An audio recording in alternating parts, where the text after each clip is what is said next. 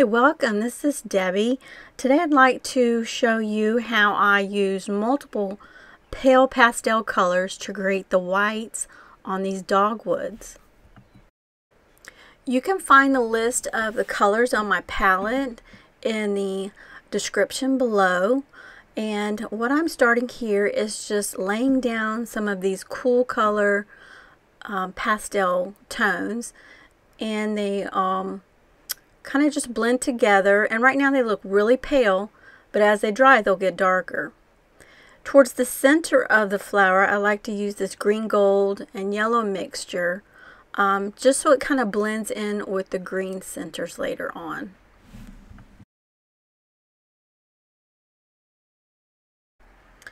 I'm just layering some colors here just to blend them together.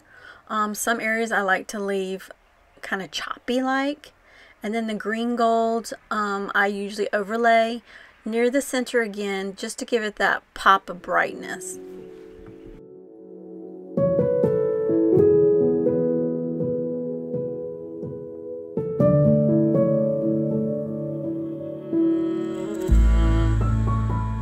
Alright, here I'm mixing some white and neutral gray number 8 um, just to add some non-color area here and then again I like to blend it just a little bit but keep the paint kind of chunky and free like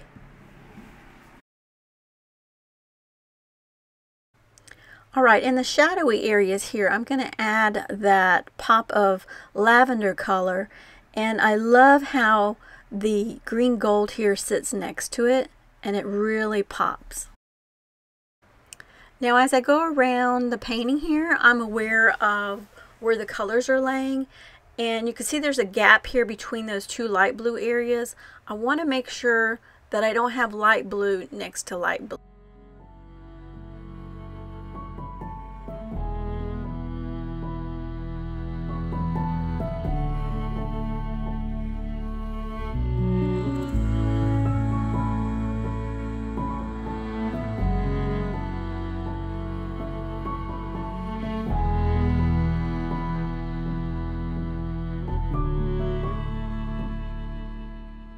Alright, here I'm adding the gray and white mixture here on the parts of the petals that are flipped up and it's just that they're highlighted and uh, lighter colors come forward, darker colors appear to come back. So that kind of helps create dimension in the petals.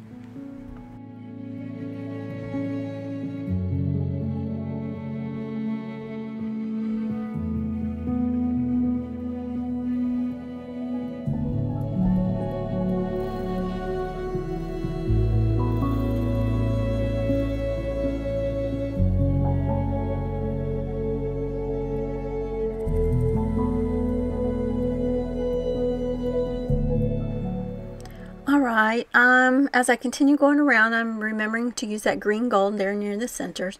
And you can see a little peek here of the different varieties of strokes of color, how some are darker, some are lighter. And I love that variety that you can see. Now I'm starting on the centers of the dogwoods here, and I'm just using kind of a mixture of the turquoise with the green gold and sap green. And I just want it darker and then later I'll add the pops of highlight on top of it to create that texture. Alright, I'm mixing some more um, colors here, maybe a little darker tone to add some shadowy areas here in the folds here of the petals. And again, make sure I have that green near the center.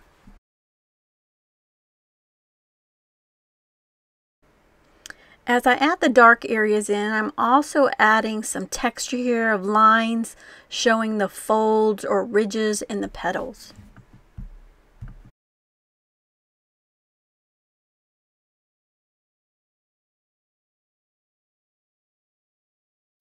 Also, I'm using just pure titanium white here to show more folds and highlighted areas.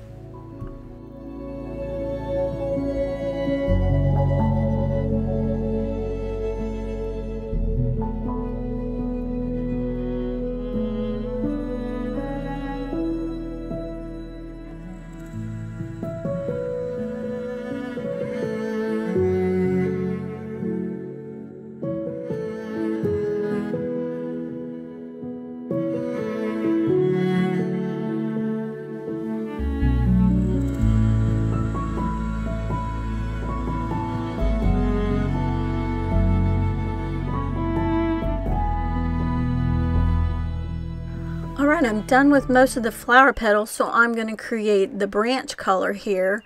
And uh, I tried it out a lighter color using the pinks, the red iron oxide, and titanium white, but it comes out like a too light. It doesn't stand out. So I'm going to mix in some of the ultramarine blue in with the red iron oxide to create a darker brown. And as I paint it, I still want that color underneath to pop through because I want to keep it chunky as well.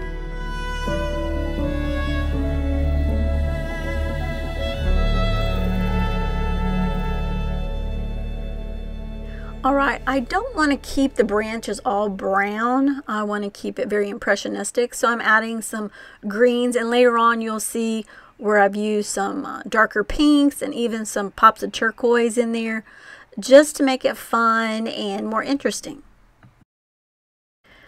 Next is the leaves that I'm painting and I want to make sure that I keep a variety of colors going here so that each leaf is slightly different.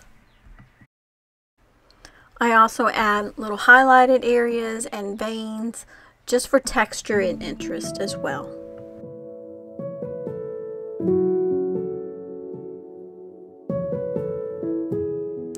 Next, I'm going to um, add the texture of the little florets in the center of the dogwood here. And I build up from a medium light to even lighter, uh, just so it gives it more dimension. And I add a little shadowy areas just so it's not a complete circle.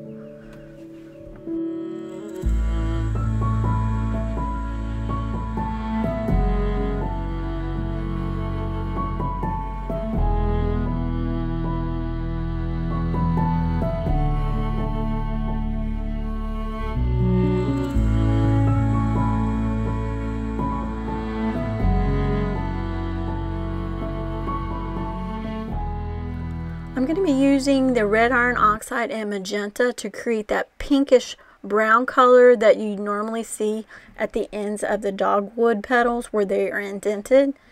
And I also use that same color in on the branches just so that your eye moves around and they kind of speak to each other. It's background time, so now I've chosen a pink color because I want to keep with the pastel theme and the spring look. And I'm going to um, mix all my pinks together, the magenta and the neon pink, but also dull it out a little bit by mixing some cad red light in there. And as I paint, um, I'm just using the smaller brush here so I can get into the little areas.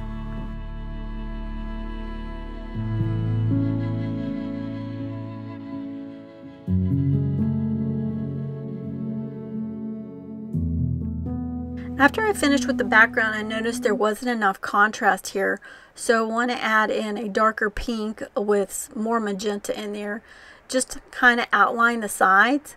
But then I noticed it still wasn't popping and it looked too cartoon-like, so I decided to do a lighter pink and leave some of the darker uh, around the edges here. And I like how it kind of glows and creates that uh, light effect here and there is contrast between the petals and the background now.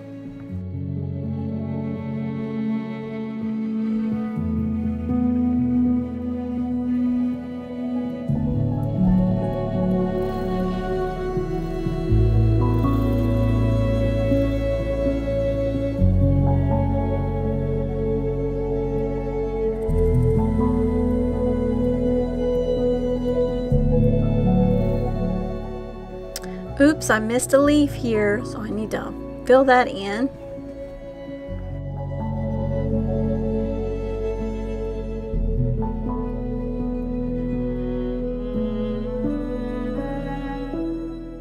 I'm all finished now. Here is the completed palette.